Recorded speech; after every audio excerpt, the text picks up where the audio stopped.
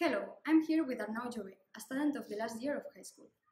He just finished this stage and now he can, he can opt to go to university or to study a superior training cycle to learn a profession. In his case, he's going to study cinema. Arnau, we have just watched your short, your short film titled Love. How old were you when you created this film? I was 15 years old and I was finishing the last year of ESO. And how did you get the idea of making it? I was walking to my house and I was listening to Love, uh, the song from Nat King Cole, which uh, sounds in the, in the short film. Now that you are 17 years old, would you change anything of your film? I saw that the short film, Love, has uh, error of record.